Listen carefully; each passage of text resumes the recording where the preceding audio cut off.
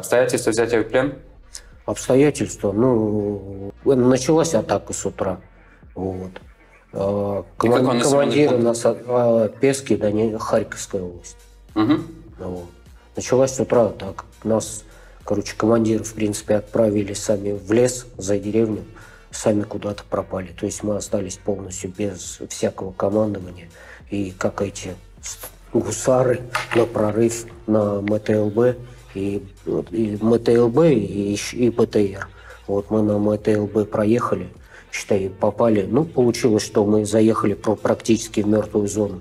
Объехали украинский танк, пока он поворачивал башню, мы метров 60 успели проехать, и он сзади по нам снизу шмякнул.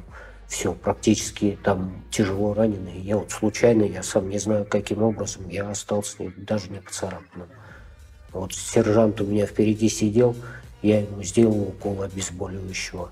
Он гранатку вытащил и говорит, уходи, я долго не продержу.